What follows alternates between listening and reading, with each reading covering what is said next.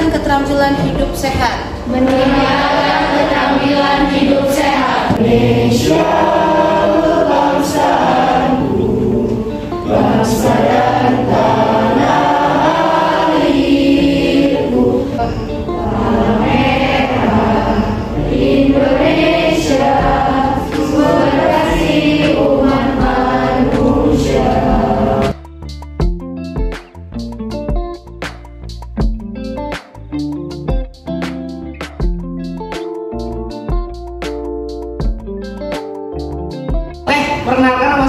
Dedi Saputra dari KSL Markas PMI Kabupaten Banyumas dan saya di sini tentunya nggak sendiri juga ditemani oleh Mbak Eka Septi dari KSR Unit eh, Universitas Jenderal Sudirman.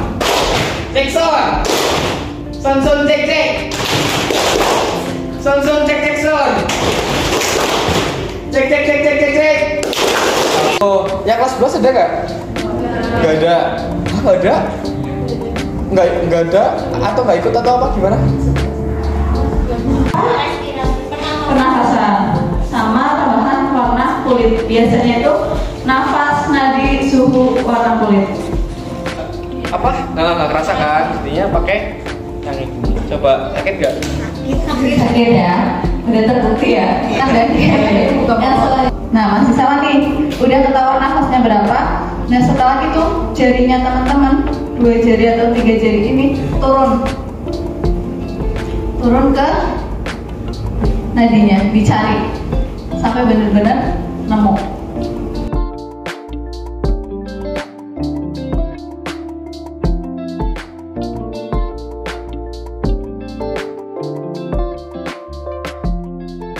Segitiganya di dalam.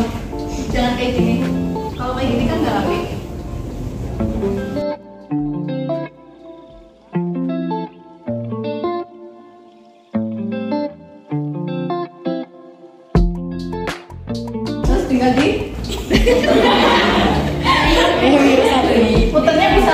gini cuma kalau buat lebih apa?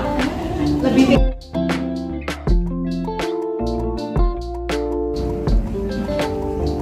terus diikat kan biar stabil jadinya kan nggak gerak-gerak. Sehingga lukanya enggak parah. Benda yang lain.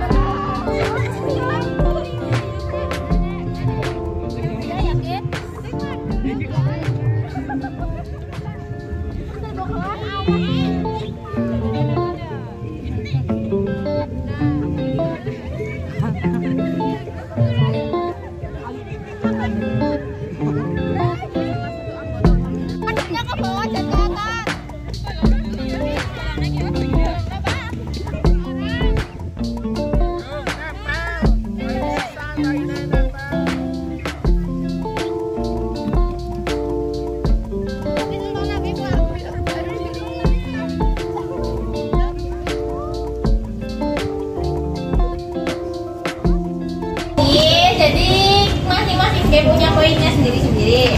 Warahmatullahi wabarakatuh. Waalaikumsalam warahmatullahi wabarakatuh.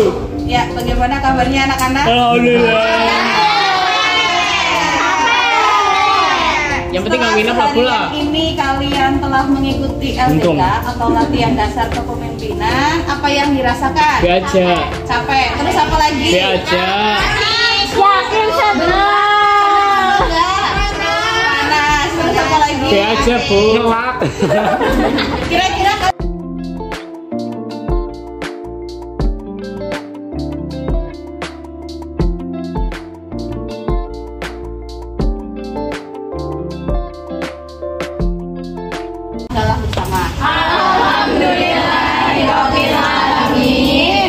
Ya, semoga kegiatan kita pada kesempatan hari ini membawa manfaat buat kita semuanya.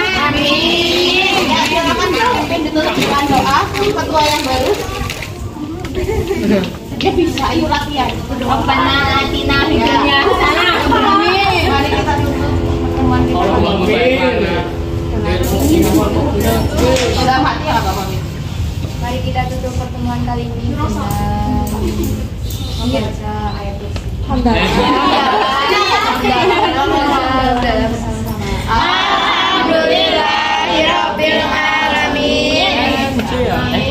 Terima kasih. Wassalamualaikum warahmatullahi wabarakatuh. Jaya.